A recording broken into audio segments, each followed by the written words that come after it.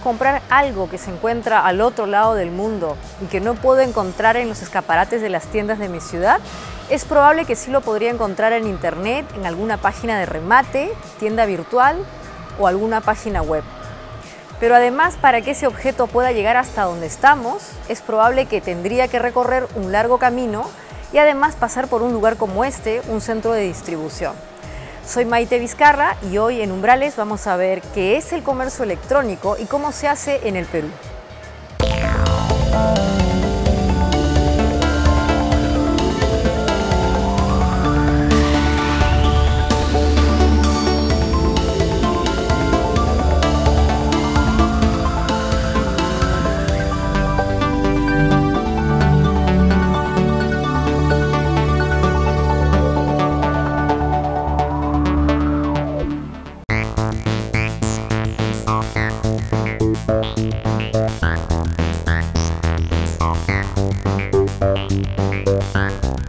Única diferencia que existe entre uno y el otro es el canal por donde, donde ocurre, ¿no? Es decir, en el caso del comercio electrónico, el canal es Internet. En el resto, los canales son los que convencionalmente conocemos, físicos.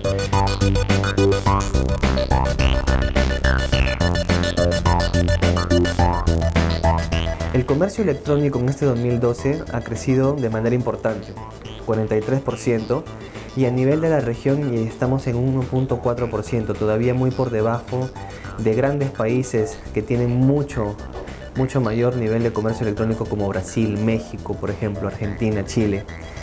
Pero el crecimiento para este año también bordea el 30%, según los estudios que vamos a crecer.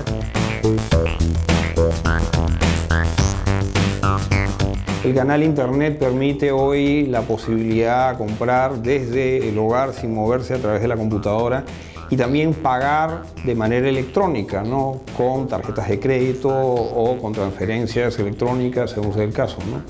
Y sin duda lo que genera es la posibilidad de que el consumidor tenga la capacidad de poder elegir y ver una cantidad de precios de manera mucho más ágil que aquella que ocurriría en el sistema tradicional de tener que ir de un establecimiento a otro para poder comparar precios, por ejemplo, cosa que el Internet permite con muchísima facilidad.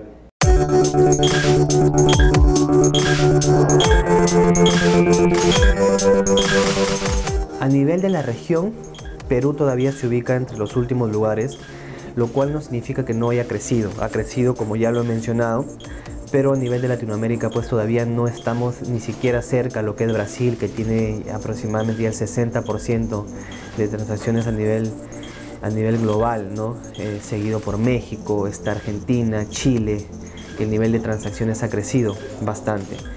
Eh, en realidad nosotros, hablando de dos años atrás, por ejemplo, Perú estaba bordeando el 0.5%. Ahora estamos aproximadamente en el 1.4% que a, nivel de todos los demás países todavía es bajo, pero el crecimiento está bastante sostenido y creo que va, a mejorar bastante este año y en los próximos aún más.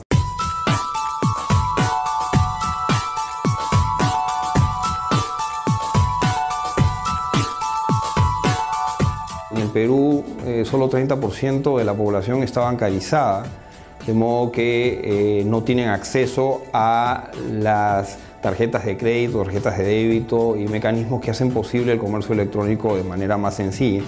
Sin embargo, en el Perú, el comprador peruano, y yo les digo por una experiencia personal, es un comprador que si percibe valor en el mecanismo de comercio electrónico, ya sea con pago contra entrega, como ha sido una de las modalidades inicialmente más usadas en el comercio electrónico en el Perú, en donde la transacción de compra se hacía a través del Internet, pero la parte del pago se hacía en el momento de la entrega. Y el, mecanismo de Internet facilitaba de una manera mucho más ágil el proceso que de otra forma hubiera conducido al comprador a tener que ir a la tienda a hacer lo mismo, cosa que ocurría al revés en este caso.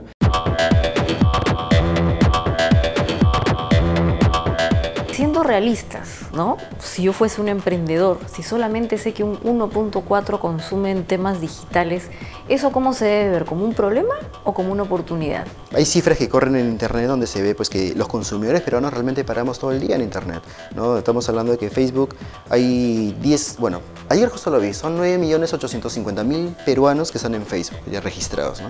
de los cuales el consumidor peruano pasa entre 7 y 8 horas conectados a internet. ¿no?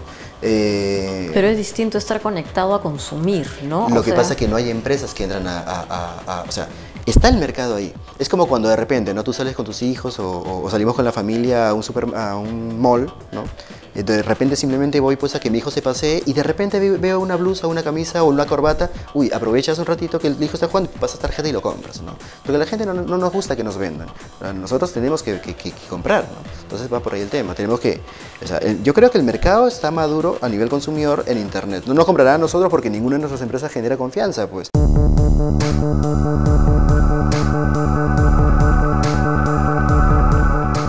Hablando ya de rubros, sí, las flores y regalos son los que tienen el primer lugar, con el 22%. Seguido del 13% con todo lo que es viajes y turismo. ¿no? Eh, esto en, realidad eh, va a cambiar también de repente con el tema de las cuponeras, porque ahora las cuponeras son las que se encargan de entrar a, esto, a estos pequeños rubros y darte ofertas. O sea, por ejemplo, en el caso de San Valentín, ellos sacan cupones para tema de florerías, tema de regalos, hoteles, viajes. Entonces las cuponeras va a ser un punto muy importante para el crecimiento también del comercio electrónico. Ahora, si hablamos de, de, todo lo que se compra en Perú a través de comercio electrónico, el 63% de esas compras son fuera. Hablamos de Amazon, eBay, por ejemplo, ¿no? Eh, y cabe mencionar que esto de este año va a empezar a cambiar un poco también por nuevos comercios que han ingresado, donde están trabajando mucho el tema de la confianza también. Por ejemplo, tienen el pago contra entrega, de tal manera de que si uno le, le da esa, esa forma de pago la primera vez, es casi seguro, y lo estamos viendo en números, que la segunda compra la van a hacer con total confianza ya por el medio electrónico.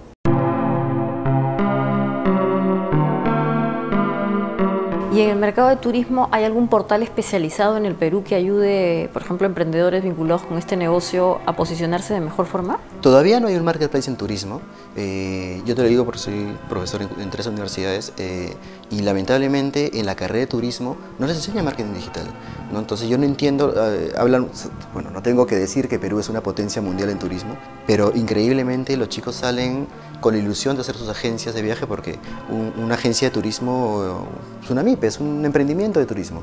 Pero ¿cómo voy a captar al turista que, de Europa que quiere viajar a Perú? ¿Le voy a mandar su volante por ser pozo? O sea, no se puede. El estudiante de turismo, el futuro emprendedor de turismo debería ser un, experto en marketing digital para poder atraer el turismo pues, y, y poder venderlo porque además en un mercado como el del turismo los intermediarios casi que están desapareciendo, ¿no?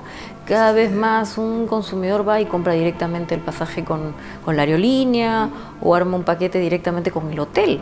Entonces la figura de la agencia casi como que desaparece. Y entonces en ese escenario, ¿cómo es que se redefine este mercado de Internet del turismo? Ahora, ya en el mercado de turismo me he cuenta de varias variables que, que, son, es, muy monótono la forma como se vende turismo aquí. Todo el mundo vende con, ¿cómo es? 10% de comisión, 5 dólares de incentivo al counter. Es, es, una forma de comercializar muy primaria. Y las páginas web es horroroso, ¿no? Entonces eh, vimos la oportunidad eh, y lo que estamos tratando de hacer es un poco ayudar a esta comercialización, ¿no?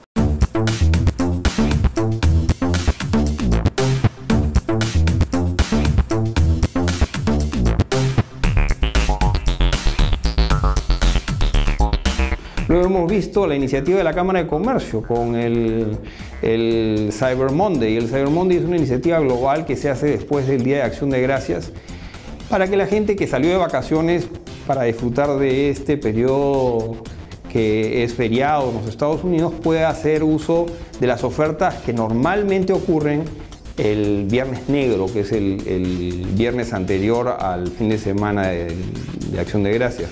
El día lunes es que se hacen estas este, promociones. ¿Qué ocurrió en el Perú? En el Perú esta iniciativa en donde solo participaron este, pocos. Tuvieron pues este, unas ventas que eran casi 20 veces lo que naturalmente tenían en un día común. Y este no era un día en donde a la gente le habían pagado su gratificación, pues era noviembre todavía. Es un poco para que ustedes tengan una idea de que sí, si es que hay eh, los mecanismos, la gente está dispuesta a utilizarlos porque perciben el valor. Y lo interesante es de que la, gente no solo compra eh, en Lima, es decir, la gente que ha estado comprando compra desde provincia, desde Iquitos, desde Arequipa, y estos mecanismos hoy logísticos de estas empresas que están haciendo comercio electrónico permiten que en el plazo de, creo que son entre 3 a 4 días, el cliente tenga despachada su mercadería en donde ha solicitado se le entregue. El objetivo del Cyber Monday es hacer ver al mercado y a los ciudadanos peruanos que hay esta nueva forma de hacer comercio, que el comercio electrónico es posible, que existe y a veces simplemente hay que hacer este tipo de iniciativas como la de esta entrevista para que los peruanos conozcan que en el Perú hay estas posibilidades. A veces simplemente por desconocimiento la gente no hace uso de estas herramientas.